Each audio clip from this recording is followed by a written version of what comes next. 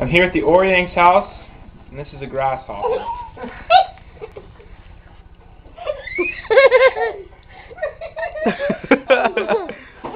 yum yum. It's good, isn't it? Yum yum.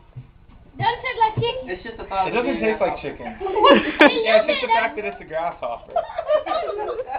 Cut there on the weight. Press the